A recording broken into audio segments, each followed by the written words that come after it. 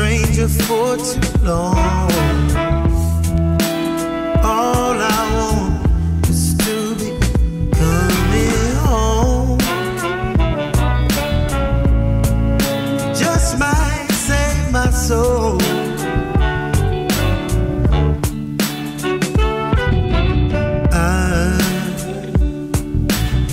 lost out